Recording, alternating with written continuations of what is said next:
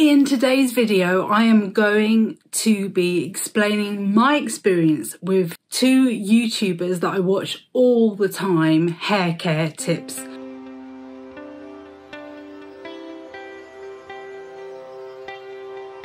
Welcome, welcome back to Self Care Karen. Self Care Karen is all about empowering busy women to feel their best and give their best. And on my channel, on a Monday, I upload a more kind of more self care specific video and I at the moment I'm focusing on a therapy called EFT you might know as tapping. If you want to know more about that I've got loads of videos already including explanatory videos.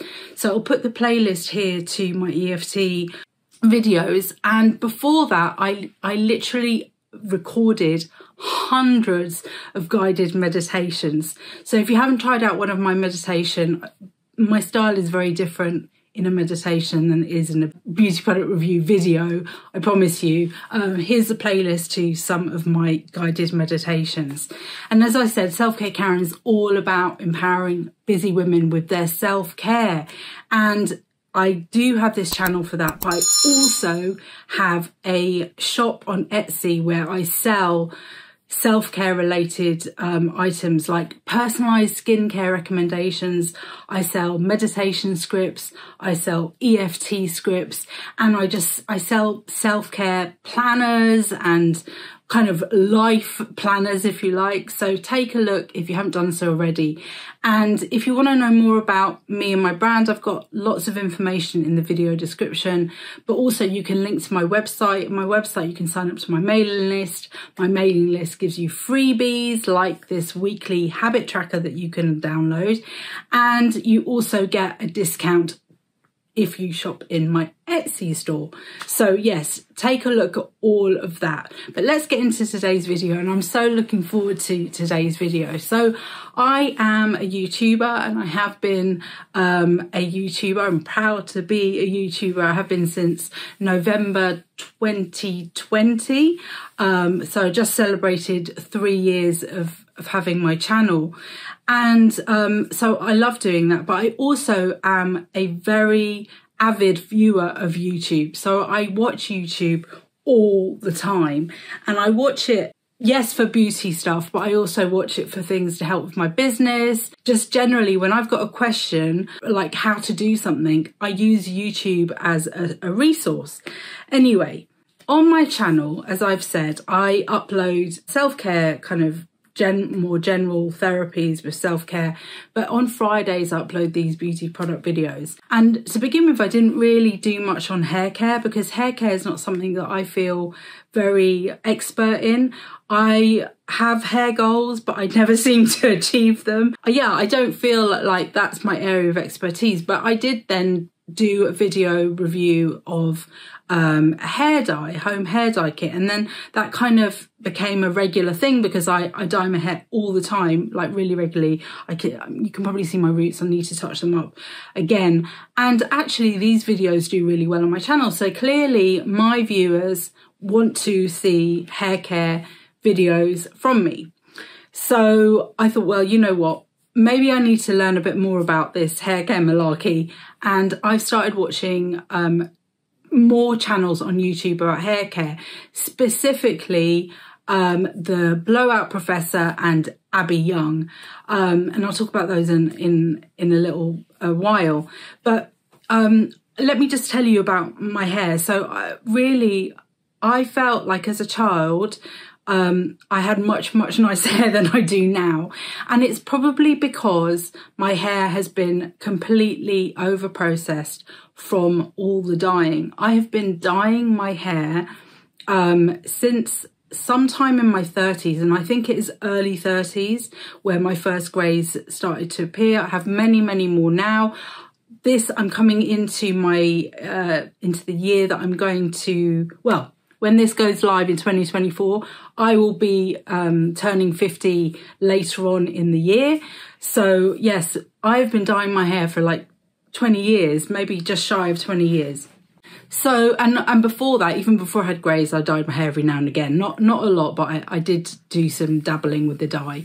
So my hair is very over dyed or over processed with chemicals. Um, and I do not use heat on my hair very often. So I was actually contemplating for this video straightening my hair with some straighteners and then I thought well actually I think it's probably better that you see my hair as it really is without and how it normally is because I very rarely use a blow dryer or straightening tongs or anything like that. Um, partly because I'm lazy, but partly because I don't want to kind of exacerbate um, the problem of this over processed hair that I've got. So when I was younger, my hair was much um, kind of smoother, silkier, shinier, although I do think I've got quite nice shine on my hair but um, it might be the grease. Um, and I don't think I had such oily roots when I was younger as I do now. Um, but my memory is not reliable. And I've actually found out that no one's memory is reliable recently because I was listening to an episode of the Mindset Mentors um, podcast. I love his his uh, channel. And basically, our memories are just not reliable for a number of reasons. But anyway, but I do recall, even if I look at photos, I think my hair was in a better place than it is when I was, you know, in a teenager than I than it is now. So where am I going with this? So I'm going with the fact that I'm perimenopausal. I've been dyeing my hair for 20 years, and I really, really would like to feel better about my hair. I wish my hair wasn't as frizzy. Um, you can see it kind of, it's always had a kink in it. Um, I don't mind that. I can make it a bit curlier if I try, but it always feels at the moment like it's kind of a bit too frizzy on the ends. I would also really, really like to have longer hair, but I actually think that my hair has kind of got a point that it doesn't go past in terms of growing longer. I don't know if that's a thing. Um, maybe you can tell me in the comments if it is or not, if I'm crazy. But basically, I want to have smoother hair, less oily hair, because I get really, really oily roots. And I would like to have longer hair. Anyway, I have been watching the blowout professor has this YouTube channel. He is so, so funny. He has like an alter ego. And my lovely video editor will put two images up here of him in his normal self and him in his alter ego with blonde hair. And he is just so, so funny. And he has this kind of questionnaire that you can complete and it recommends then hair care to you. So part of the products and things that I'm going to talk about in this video have come from his recommendations. And then I also watch Abbey Yung um, and her hair is well which is funny actually because obviously the blowout professor is bald right? But he's always talking about he he sounds like he's he knows what he's talking about. Abbey Yung has got this beautiful long blonde hair, absolutely gorgeous. And she talks a lot about drugstore hair care. And I, I, you know, budget beauty is my thing. So next year, oh, sorry, this year, I will be in 2024, be doing some more videos based on some more of her recommendations. But for today, I am reviewing higher end hair care.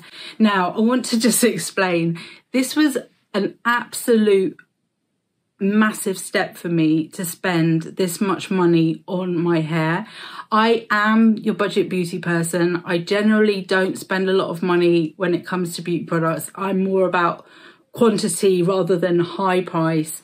I really look for those kind of value products in terms of getting a lot of bang for your buck. Um, so I was, it was a real, I had to talk to myself for days to actually make purchase. And then when I did, I was like looking everywhere for the best offers I could find. But anyway, I want to explain to you the experience that I've had. So when I took um, Chris, who's the blowout um, professor's quiz, it recommended Redken volume injection shampoo and conditioner. There are other recommendations and I'll come to those in a minute. But then I realized that there was also a recommendation for, and this was for people who style their hair with heat. And of course I let mine air dry almost every day that I wash it. And so he recommends a, diff- a different range, but I couldn't find them for sale. So I contacted them. I'm on his mailing list and I, I replied to an email and I asked what is an alternative. And they said, uh, the person, the lovely person who came back to me said, uh, living proof. Now, I will do a review on Living Proof, but that will be sometime in the future. I haven't got those products available yet. I'll, I'll do that, as I say, in, in some months' time. So, what happened was I did actually buy the Redken volume injection. You'll see that I'm nearly coming to the end. That's why I wanted to make sure I film this before, yeah, before uh, they run out and my memory fades and I can't smell them anymore and all of that stuff. So, I bought the shampoo and I bought the conditioner, and then Chris recommends that um, after you've washed your hair and your hair is still damp, that you spray in the Pureology Colour Fanatic 21 Essential Benefits Leave-In Conditioner. So I bought that as well. His next step um, includes a hair oil. I think it's a Olaplex, Olaplex hair oil. I did not buy that because um, I felt that was a step too far because also hair oil for me just makes me feel like my greasiness is going to get worse and I was kind of like really not wanting to believe in stuff. But anyway I, I also had some of this left over. This is Superdrug Me Plus Universal Hair Oil. So I thought you know what I'm gonna just you know keep with this. There's still quite a lot left. The other product that Chris recommends is this one here. It is the Redken Acidic bonding concentrate and this is kind of like um, the famous Olaplex one that you go to the hair salon, salon and have done which by the way I rarely rarely rarely go to the hairdresser partly because of cost partly because I choose to prioritize my my time elsewhere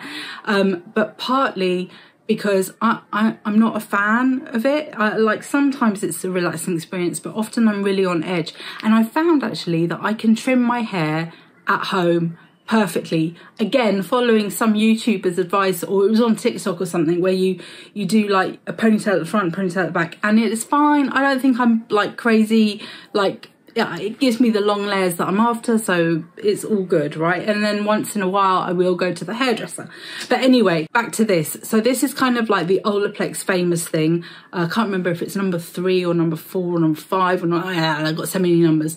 But um, apparently this is the one. This is better. So I use that. And then Chris also recommends that you make sure that your hair utensils are clean. I use this brush, um, which I clean on a regular basis. And then he also says that when you've washed your hair, you should use a microfiber towel, which I was already doing. So I just wanted to share like kind of all the steps in terms of products. In terms of technique, again, Chris speaks about the blowout professor speaks very specifically about how to apply your shampoo, as does Abbey Yung. But I'm really sorry, Abbey, I went with Chris on this because I tried all the emulsifying thing before and it didn't get me anywhere. And his one his ex explanation about how you should bring the product to the root, to the scalp, kind of makes more sense for me because I do have really oily roots. And he says never apply the shampoo to the lengths, it's always to the scalp. And do it in bits, like get your hair really wet and then do it in bits. Don't whack on all of the shampoo in one go. And that's what I've been doing. And I have to say, in my life, and I've used so many different shampoos, this has given me the most beautiful lava. Absolute lava. Lava? Lava? Anyway, absolutely gorgeous. And it is kind of like light and frothy. And then with the, the froth, I then kind of run it through the rest of my hair and then I wash it out. In terms of the smell, my apologies, the school's just broken out. You're going to hear some screaming in the background. But anyway, it's, it is a synthetic smell. I'm, I don't find it unpleasant. But um, yeah, I've I've smelt nicer shampoos. Bring back Vidal Sassoon, please, from the 80s. Anyway, so yes, I really, really liked the the shampoo. The conditioner I have only been applying to the ends, like from midsection down of my hair. And in the time it's taken me to do the rest of my kind of body care in the shower is the time I leave it. I've been following Chris's advice here and then I wash it out. And then when I've come out of the shower and that my lovely microfiber towel has been on my hair for a little while and then I've combed my hair or brushed my hair out, I then apply this Colour Fanatic from Pureology leave-in conditioner. However, I do not do the number of sprays that Chris says because I tried that once or twice and it leaves my hair feeling really crispy, like too much product on it. So I only do like three or four sprays for the whole of my hair. Maybe it's because my hair's quite fine or maybe it's just I don't like the feel of product in my hair. I'm not sure. But anyway, I did not stick with his instructions that much. He then talks about using hair oil. I've maybe used this once or twice in the whole time because this just causes me to have a major greasation. Um, when I told you about my hair goals, it was about the greasy hair. I wash my hair normally every day. I have been trying to go one day wash, one day not wash, one day wash, one day not wash, and so on. However, I on the day that I don't wash, I really notice and feel my hair is greasy. I have to say that with all of these products, and I'm missing the Redken. Oh, where did it go? I've lost it. It's under the towel. Even with this, which I thought might help out with that situation, uh, and let me speak to you about this in a second, my uh, greasy situation has continued. However, I am, I guess, getting more used to having that day where I don't wash my hair and I quite like it because it speeds up my morning routine. So I have a wash, but I don't have to have a shower washing my hair and it kind of makes it a bit faster on those days. Um, but I do notice it and I, I, I don't find it pleasant. And I think if it was summertime, I definitely wouldn't be able to do that. With the um, acidic bonding concentrate, um, I only use this once a week and that is following Chris's advice. But, um, and I haven't, my apologies, Chris, if I missed out you a video of you explaining this, but as per Redken, it says that you should put this onto your hair, damp hair first. You leave it on for five to 10 minutes, then rinse off, then shampoo your hair and then condition. I was doing that and then I saw a video by Abbey Yung and she said actually shampoo your hair first then put this on and then follow with conditioner and I'm much much prefer that. I think that is better. And I think overall, I think my hair is a little bit, I'm sorry, I haven't got before and after photos. I've got no scientific proof, just the way that I'm feeling. But I do feel like the quality of my hair, like the frizziness situation, the actual this bit of hair that I'm most concerned about that gets so much hair dye on it, I do feel that it has improved over the about six to eight weeks that I've been using this kind of routine. Um, so yeah, thank you, Abbey, for for doing a video on that. That was very helpful. And she actually talked about dupes for this. So I'm going to look into that because, um, yeah, I think that that is um, an interesting one to, to really explore. Um, yeah, she also talks about oiling your hair. Um, and I do do this sometimes where on a night I'll put on this hair oil onto my hair and then I'll wash it off the next day. Um, I don't notice like an amazing difference, but I do get to use up some of this and I, I want to use up the products. So um, overall, I am pleased with how my hair has been, but to be honest with you, the days when I use both the conditioner and the leave-in conditioner, I just think it's a bit too much for my hair. Um, and I, to be honest with you, I'm not a massive fan of the bottle conditioner, but I do really like uh, this one if I use it sparingly from Pureology. So I think, you know, I've got loads left. As I said, I've been using it for like it's not even halfway. There's so much of this product left. This is going to last me ages. So it is actually not that expensive if you consider how long you get it for. The shampoo and conditioner are because they run out faster. But for this one, which was about 20 quid, I think, um, yeah, I d I don't mind. I'm not mad at that. I'm not mad at that. So yeah, I am going to keep using the leave-in conditioner. I'm going to switch um, to a different actually to another extreme complete complete budget but i'll probably carry on using leave-in conditioners to some extent in that hair care routine and i'm definitely going to use this one up. I'm going to carry on using this to see if over time it further improves my hair. But yeah i mean i I am pleased. Um, I would love to hear from you if you've tried out any of these tips that you've seen from Chris or from Abbey.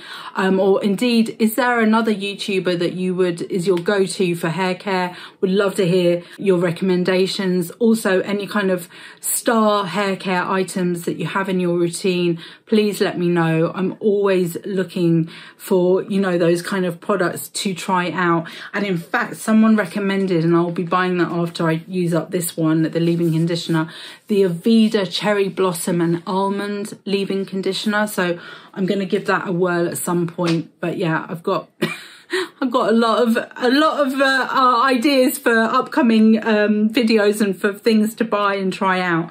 But yeah, thank you so much for watching today. I look forward to seeing you back here very, very soon. If you haven't done so already, please consider hitting the thumbs up, subscribing to my channel, um, hitting the notifications bell, putting a comment, all of that, sharing this video, all of those engagement actions really send a very positive message to YouTube's algorithm. They will serve my video up to more people and I am trying to grow my little, little channel into something a little bit bigger.